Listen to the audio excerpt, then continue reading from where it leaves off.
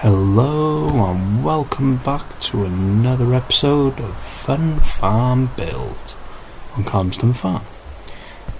Thought I'd make another build since everyone enjoyed the last one so much.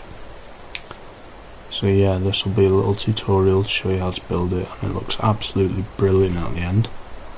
So please, get all the way to the end and you enjoy the build, don't forget to subscribe, hit that like button and let me know what you think in the comments. With all that said, enjoy the rest of the video. Bye.